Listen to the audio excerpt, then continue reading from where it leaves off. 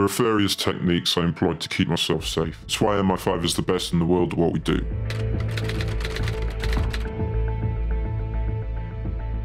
shaqada basaasidda ayaa ah mid aad u halis badan taasi oo afartan boqolkiiba aad ku waayi karto noloshaada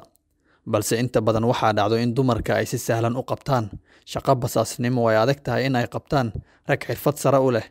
haddaba daawada ciwaankeenna maanta ayaynu ku soo qaadan doonnaa mid ka mid a dhacdooyinkii basaas ee ugu yaabka badnaa dagaalkii qabooba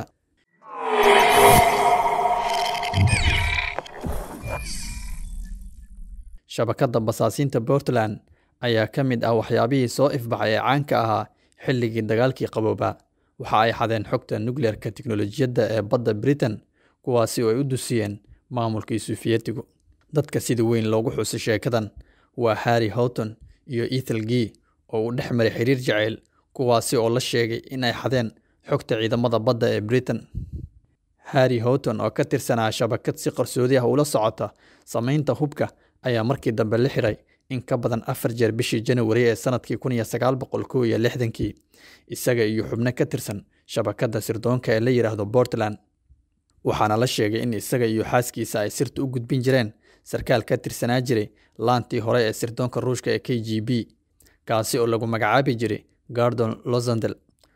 houghton iyo xaaskiisa gee waxaa labaduba lagu helay dembi ah in ay wax basaaseen waxaana lagu xukumay shan iyo toban sano oo xarig ah. Waraysi lala yeeshay ethel gee sannadkii kun iyo sagaal boqol kow iyo lixdankii waxa ay sheegtay in laga shakiyey siddeed sano ka hor markii saygeedu uu bilaabay safarro joogto ah inuu ku yimaado magaalada london ee dalka ingiriiska. Waxa ay sheegtay in ay mar qaaday bashqad ay lacag ku jirtay uu isagu lahaa waxa ay daadisay lacagtii waxa ay markii soo ururinaysay lacagtii ay ku dhex aragtay warqadu ay ku qoran yihiin sirta xooggan markii ay wax ka weydiisay houghton arrinta warqadda iyo kaamirad yar oo uu ku dhex qariyay guriga ayay sheegtay inuu aad u xanaaqay. Ethel gee waxay isku dayday inay la xiriirto dadkii uu la shaqayn jiray ee madaxda u ahaa sannadkii kun iyo sagaal boqol lix iyo kontonkii in saygeedu uu macluumaad sir ah u gudbinayay dad aysan habboonayn in loo gudbiyo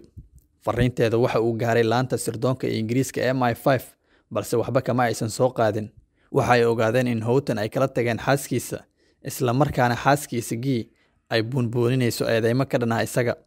Mid ka mid a saraakiisha ayaa sheegay in sheekadu ay u muuqato inay ka dambeyso masayr iyo muran ay wado xaaskiisa. Houghton wuxuu fadhigiisu ahaa safaaradda ingiriiska ee warso ee poland sannadkii kun iyo sagaal boqol laba iyo kontonkii